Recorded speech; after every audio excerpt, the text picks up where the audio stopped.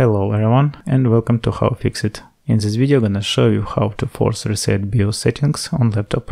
To disassemble you will need next tools. Phillips 1 screwdriver, Torx T5 screwdriver, plastic tool and tweezers. Also I recommend using a magnetic mat in repair process and laying out uh, each screw step by step during disassembly which is especially useful in case of this uh, laptop and it is very important not to confuse them during assembly. In the description I'll add link where to buy all necessary tools.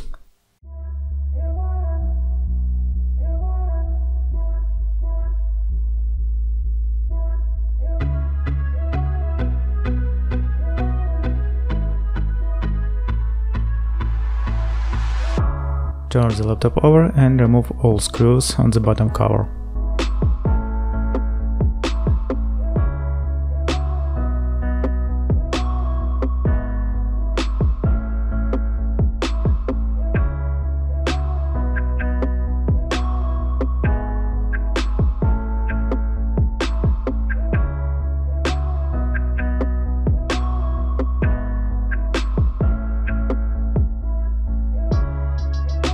Next, take plastic tool and begin to open the case on laptop.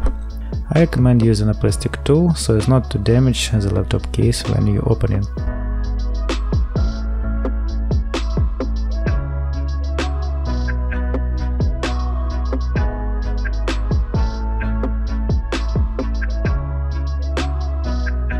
Disconnect the battery cable from the motherboard.